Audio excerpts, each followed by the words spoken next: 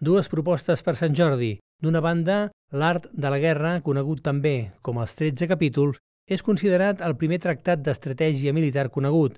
És del segle V abans de Cris, però la seva importància es magnifica amb la lectura política i econòmica que se'n pot fer.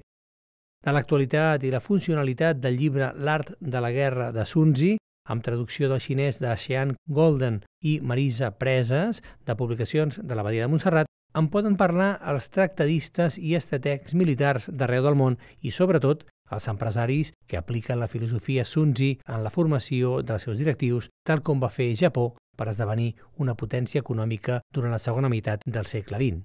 I l'altra proposta és arran de la pregària i la contemplació, que són eixos fonamentals de la vida cristiana. Ramon Llull va escriure molt sobre aquestes dues experiències i molts dels seus textos es poden considerar pregàries o, encara millor, expressions d'una relació íntima i continuada amb l'amat. Ramon era un laic i entre les seves múltiples activitats destaca la seva tasca com a mestre espiritual d'altres laics.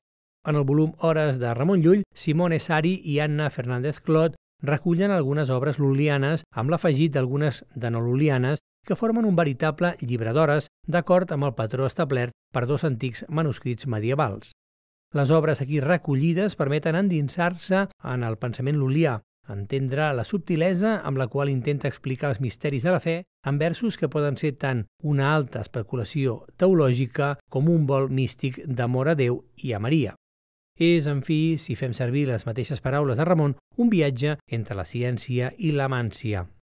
El llibre Hores de Ramon Llull, una edició a cura de Simone Sari i Anna Fernández Clot, de publicacions de l'Abadia de Montserrat, és una invitació a pregar amb Ramon Llull i a fer-ho amb les seves mateixes paraules.